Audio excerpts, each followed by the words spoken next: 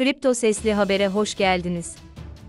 Shiba Inu'nun bonu, SHIB geliştiricisinin olumlu haberler vermesiyle %8 arttı.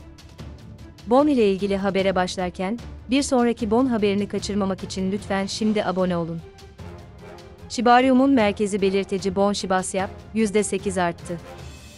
Shibarium'un merkezi belirteci Bon Shibasyap, Bon, Shiba Inu baş geliştiricisi Satoshi Kusama'nın Layer 2 çözümünün beta lansmanının daha yakın olabileceğini ima etmesinden sonra yaklaşık %8'lik bir sıçrama yaptı.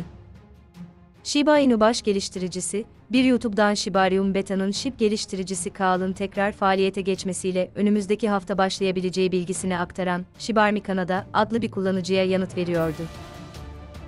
Kaynakların doğruluğunu sorgulayan kullanıcı, SHIB baş geliştiricisinden bileğine hafif bir tokat aldı ve o haklıysa ona bir özür borçlusun dedi. Bon, 17 Şubat'ta 1,38 dolara düştükten sonra ertesi gün toparlanmaya başladı. Yükseliş 19 Şubat'a kadar devam etti ve bon hafifçe gevşemeden önce 1,6 159 dolarlık gün içi zirvelerine ulaştı. Bu yazıyı yazarken, bon son 24 saatte %7,62 artışla 1,62 dolardan işlem görüyordu.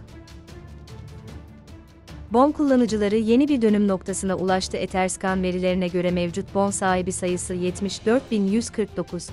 Bu, yılın başında görülenden binlerce kişilik bir artış. Bon, gaz işlemleri için ödeme yapmak ve Shibarium protokolü dahilinde doğrulayıcıları ve delegeleri ödüllendirmek için seçilen yerel belirteçtir. Daha önce bildirildiği gibi, Shiba Inu baş geliştiricisi Satoshi Kusama, Shibarium Beta'nın hazır olduğunu ve yayınlanmadan önce Kaal'ın babasının yasını tutmasını beklediğini söyledi.